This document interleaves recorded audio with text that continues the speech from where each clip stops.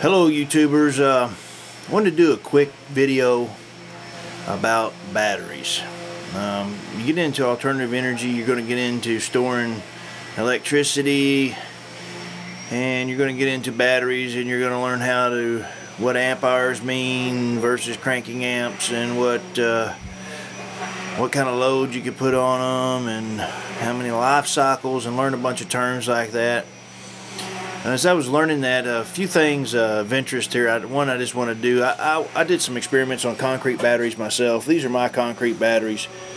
Uh, you can see the date on this that I made. This is 224 2012 and all of them together was 8.45 volts and this has just been sitting in a closet taking some abuse. I've it did have a light here on this here where you could uh, see it light up and it's been just pulled apart there and it's just been sitting there. And what you're seeing is let me give you a description. What you're seeing is a four inch piece of PVC pipe uh, piece of aluminum and a piece of copper. Now I guess all this is a galvanic effect. What this is is poured in a in a styrofoam cup. This is a piece of uh, galvanized sheet metal with a piece of copper in it. Uh, this here, or let's go with this one first. This one is uh, magnesium copper, and this one's magnesium copper, and they dry out, and when they dry out, they don't charge. So this here is actually poured in resin, so I wanted to see if the resin would hold the moisture inside.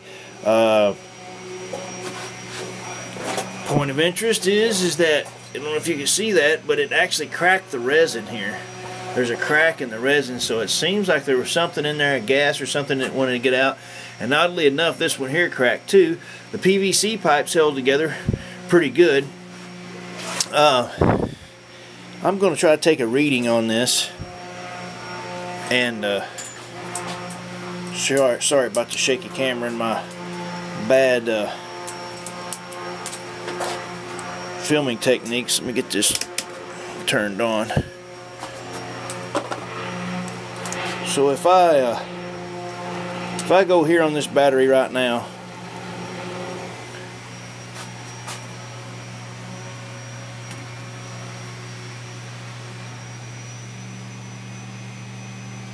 one point one two, and that battery hasn't had anything in it, any water poured in it, in I guess six months.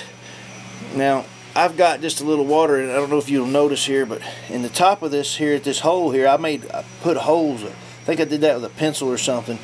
So what I could do is, is I could take, when that goes down, loses its electrolyte, I could take a little bit of water and pour down in that hole, and it recharges those batteries. So those are some concrete batteries. I'll tell you the mix in this, and this is, uh, I tried different things. I tried alum. Uh, I tried uh, uh, magnesium sulfate, uh, Epsom salt, and I also tried some uh, water softeners. And just other, other things, uh, magnesium sulfate, table salt, alum.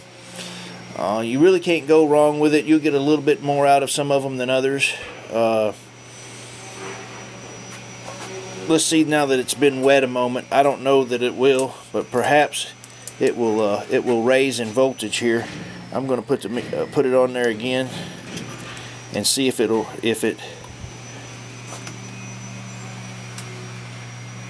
no still 1.12 but when it does go dead and completely dry out water on it will uh, will recharge them uh, so I thought that was pretty interesting. I think you know really an application for them would be like uh, put them up dry have an LED that runs off of them. If you ever have a power outage or whatever, you could always get them out, pour some water on them, and charge them right up and, and go. So they might be a great emergency use. They don't put out a lot of current. Uh, they will take a charge, oddly enough. Uh, just interesting little deal.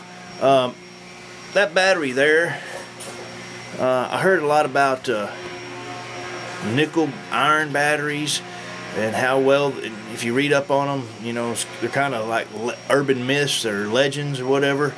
Um, you can't overcharge them uh, you, they freeze and thaw and you can't deplete them too deep and then just you know they're tough. This is magnesium and nickel in KOH and that battery there has been setting since uh, last year. And it too uh, is holding a, is holding a good charge. Now as I got into these batteries I also got into reconditioning batteries and I ordered uh, this charger which is supposed to read, read condition 12 volt batteries. And in addition to that I ordered this charger which will uh, can that focus there? Alright which will recondition or supposed to recondition batteries of different sizes all your DeWalt drills and your rechargeable batteries. And I guess these are what you would call a pulse charger. They uh, pulse higher voltages at, at various times uh, to help desulfate uh, in theory.